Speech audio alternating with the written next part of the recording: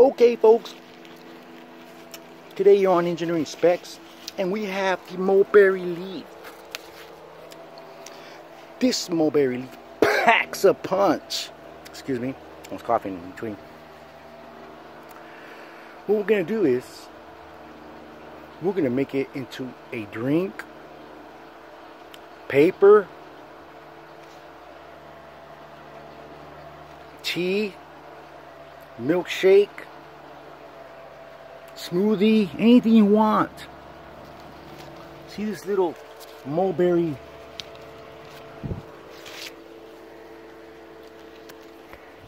my fingers are all ugly because I, do everything.